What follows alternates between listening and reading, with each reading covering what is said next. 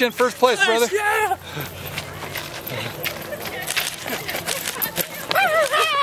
Yeah.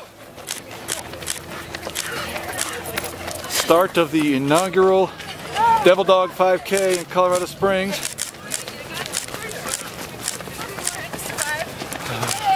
Good job, guys. Good work, good work. You guys are awesome, man. Good job.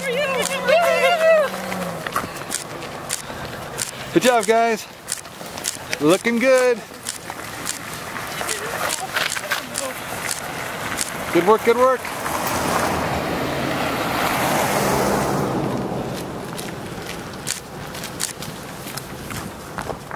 Good job. Good job, Jay. Nice of you to give him a head start, JT.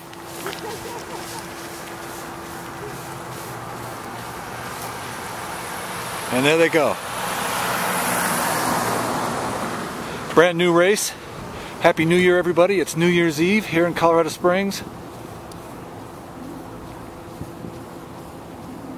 And uh, this race benefits Home Front Cares, put on by Tim Gore, doing great work here in Colorado Springs.